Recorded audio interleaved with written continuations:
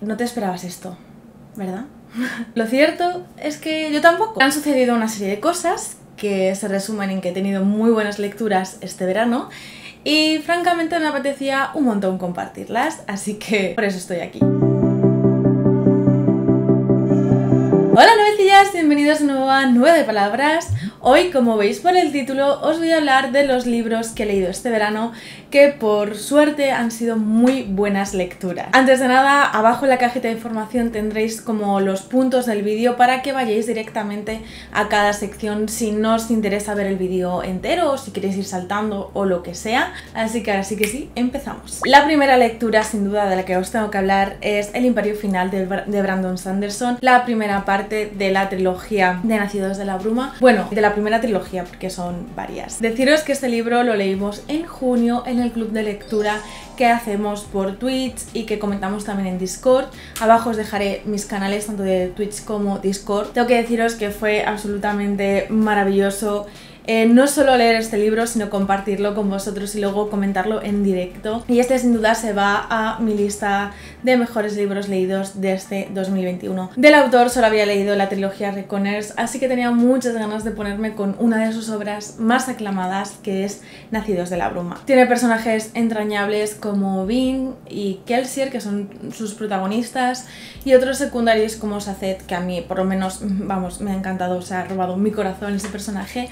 Parecen todos como muy interesantes. Estaba muy clara cuál es su papel o su desarrollo también en la historia y, mm, y si bien algunos, como Vin, por ejemplo, que al principio pues ni sí ni no ni nada, luego al final les terminas cogiendo muchísimo cariño. También me ha gustado mucho toda la estructura social y política del, del mundo de, de, Nacidos de la Bruma. Ha sido toda una experiencia leer este libro. Sin duda voy a continuar con la trilogía y con más obras del autor y la otra trilogía de Nacidos de la Bruma, pero necesitaba tomarme un pequeño descanso de la fantasía justo después de leer este libro y yo creo que ya esperaré a que pase octubre porque eh, para los que llevéis ya un tiempo siguiéndome sabéis que siempre intento seguir o eh, participar del reto de Leo Autoras Octubre. Entonces Brandon Sanderson pues no entraría dentro de un libro que pudiera, entre comillas, ¿no? leer dentro de ese mini reto de octubre. Tocará esperar un poquito más, pero tengo muchísimas, muchísimas ganas de ponerme con la segunda parte. La siguiente novela que he leído ha sido Malibu Renace de Taylor Jenkins Wright, la autora de Los Siete Maridos de Evelyn Hugo y Daisy Jones. Y tengo que reconocer que eh, Los Siete Maridos de Evelyn Hugo me cautivó por completo, es una historia que os recomiendo muchísimo. Reconozco que para mí no ha tenido el encanto de Los Siete Maridos de Evelyn Hugo. Me ha parecido entrañable la historia de los hermanos Riva. Todos de alguna forma se han ganado como mi corazón, o sea que es un libro en el que yo sentía que no pasaba nada realmente emocionante, pero eh, los hermanos, la relación que tienen ellos, la familia, eh, para ellos el concepto de familia y de hogar el descubrir esas facetas suyas pues es lo que más, más, más me ha gustado del libro. Creo que es una lectura además perfecta para verano por todas esas Malibu vibes, evidentemente todo el rollo surfero. Eh, sobre el conflicto final es cierto que me esperaba como otra cosa, así ahí tengo que ser franca con vosotros. Me quedo con la relación, lo que comentaba de los hermanos. La verdad es que es una historia pues eso, muy ligera, muy veraniega, muy fresquita y, y con muchas summer vibes, vaya. El siguiente libro lamentablemente no lo he continuado, es una novela que he dejado a medias, pero la quería enseñar porque tiene una premisa muy interesante y es un libro que me sigue interesando. Uno debe morir de Diana Urban que está publicado por Obscura Editorial. La editorial se puso en contacto conmigo para preguntarme pues, si quería leer este libro y la verdad es que me llamó muchísimo la atención, pero reconozco que cuando me puse a leerlo no sé si es que no era el momento, pero me costaba mucho como conectar con la historia y engancharme a lo que estaba sucediendo. En la historia pues eh, comienza cuando un grupo de, alumnos de un instituto, todos se conocen, son amigos o han sido amigos, tienen sus cosillas, pero bueno, a todos los reúnen en una especie de evento, como una cena, en la que el alcalde o el ayuntamiento les va a dar un premio, supuestamente han sido premiados por... Mm, por alguna cosa, ¿no? Pero cuando llegan allí se dan cuenta de que están atrapados, de que no, pues no tienen cobertura en el móvil, eh, no pueden abrir las puertas ni las ventanas y demás. Alguien les propone como una prueba que tienen que pasar en el que, bueno, pues la, norma es que para que eh, puedan salir de allí, uno de ellos tiene que morir. Pues van contando un poco las rencillas y las cosas que suceden entre este grupo de alumnos desde un año atrás. No sé qué haré en el futuro con él, pero bueno, de momento he decidido dejarlo aparcado. La siguiente novela, por el contrario, es una historia que yo empecé a leer hace unos meses y que dejé aparcada, no recuerdo muy bien por qué. Un libro que me estaba gustando, que me estaba atrapando, que me estaba pareciendo cuanto menos interesante, lo dejé a medias y me puse a leer otras cosas, a hacer otras cosas y lo dejé ahí pendiente. Y esto es lo que me ha pasado con las bestias olvidadas de él, de Patricia eh, McKillip, que es una de las primeras novelas de lanzamiento con la que han empezado en la editorial Duerme Vela. Y es una novela de fantasía pues muy especial en la que más que una historia de fantasía como la de Brandon Sanderson, por ejemplo, tenemos un, para mí un cuento, una fábula de alguna forma, eh, como si tuviera una moraleja, ¿no? De la que casi podemos extraer una moraleja de alguna manera. Lo que más me ha llamado la atención de este libro es la narrativa. Es una historia que se transcurre básicamente con diálogos, evidentemente hay descripciones y se describen cosas, pero creo que todo el peso de la de la historia está puesto en los diálogos que son muy abundantes y eso me llama la atención precisamente para ser una novela de fantasía en la que en las que yo espero o esté acostumbrada a ver grandes descripciones. Algo muy curioso también, pues eh, entender el mundo ligeramente porque tampoco creo que una novela así de mayor envergadura tendría que escribir mucho este mundo.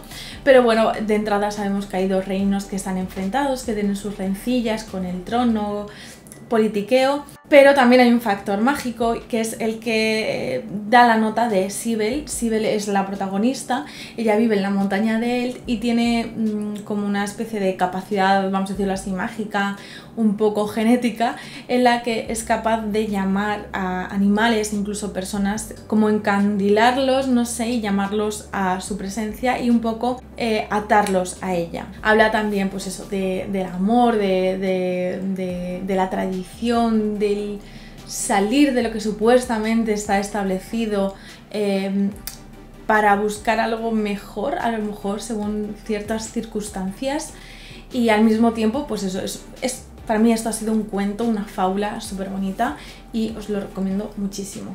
Y el último libro del que os voy a hablar en eh, por ahora, eh, ahora luego vienen mangas y novelas gráficas, es la, ridícula idea de no volver a verte de Rosa Montero. O sea, este libro va directo a mis favoritos también de este año y sin duda de la vida. Me había propuesto leer 30 libros antes de los 30 y entre ellos quería leer algo de Rosa Montero porque nunca había leído nada suyo y es que me ha cautivado por completo con este libro que realmente no es una novela de ficción, ¿de acuerdo? Es, vamos a decirlo así, un pequeño ensayo sobre la vida de Marie Curie, pero en el que también se nota mucho trasfondo personal. Comenta o compara un poco algunas cosas de su vida con eh, la vida o las circunstancias de la propia Marie Curie. Por ello me ha parecido un libro como muy íntimo, muy personal. La parte de Marie Curie, que es digamos la protagonista realmente de, de esta historia, me ha encantado. Pasar desde su infancia, desde la infancia de Marie Curie, hasta que fallece. Habla de su vida, de sus circunstancias, del entorno político, social, de todas las críticas y abucheos, por así decirlo, que recibió por X o por Y, eh, de los descubrimientos científicos que hacen, del radio, del polonio. Eh, también se mete incluso, que esto me ha parecido fascinante, en tejemanejes científicos. No estoy muy metida en ese mundo de la investigación y demás. También mucha competitividad, por lo general. Y no tanto en esta competitividad que también, pero también sobre todo en el egocentrismo de los científicos, de los mm, investigadores y demás. Como veis tengo 20.000 posits y yo, bueno, cuando un libro me está gustando mucho, o pongo 20.000 posits o no pongo ninguno porque estoy demasiado inmersa en sus páginas, eh, hasta subrayado con color, no me he cortado ni un pelo. Es una lectura muy especial que os recomiendo por completo. Esto para mí ha sido un viaje, este libro, conocer más cosas de Marie Curie eh, meterme en su vida de una forma así como más, con un toque más introspectivo. Os he dado mucho ya la turra con este libro por eh, Instagram sobre todo y por Twitter. En fin, que leáis este libro. Voy a empezar con la novela gráfica que ha sido Carta Blanca, Jordi Lafebre. Este, esta novela gráfica me la mandó Norma hace poco, hace unos poquitos meses, así que muchísimas gracias porque la verdad es que ha sido una lectura maravillosa. Aquí tenemos la historia de una historia de amor pero preciosa y narrada de una forma muy peculiar. Lo más peculiar de esta historia es que comienza por el final, que al mismo tiempo es el principio. Esa es de verdad muy curioso. Es que me quedé un poquito mm, desubicada cuando vi que el primer capítulo era el capítulo 20.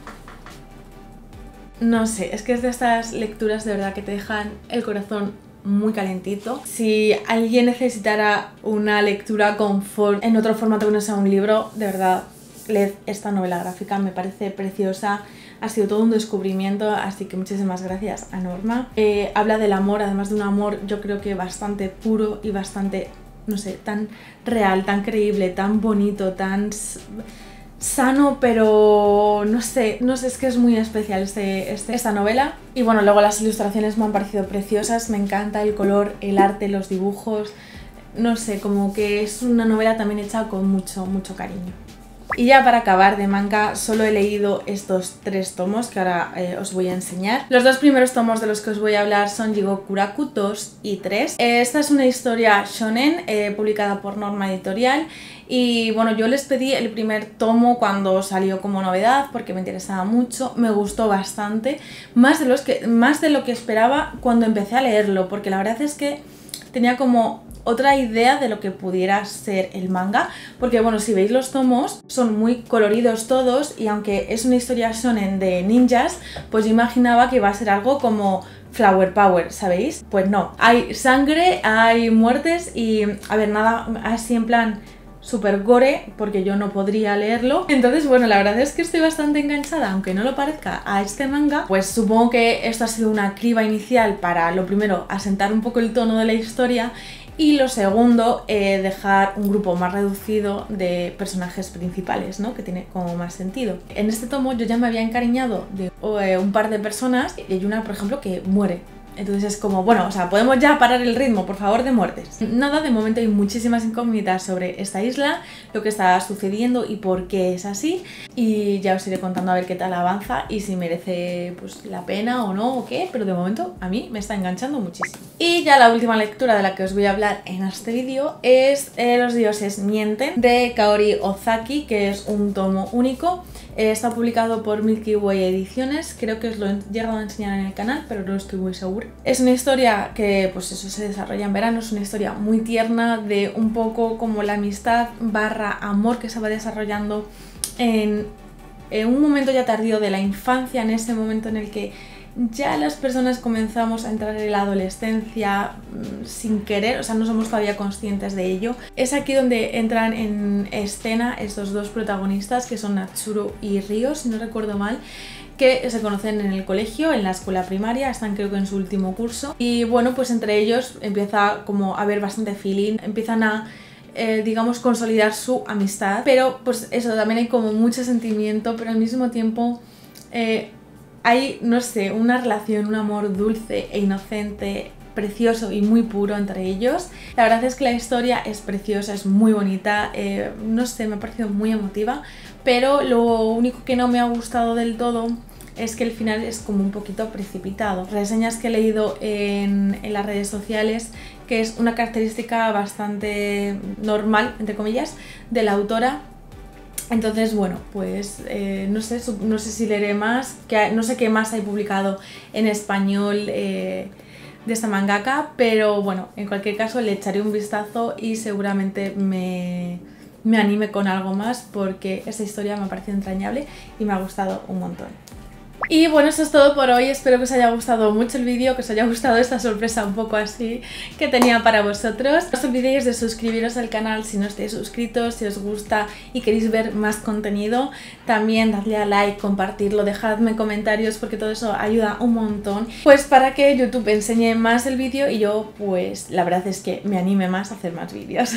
Así que nada, muchas gracias por estar hoy aquí y nos vemos dentro de poco en un nuevo vídeo. 哦。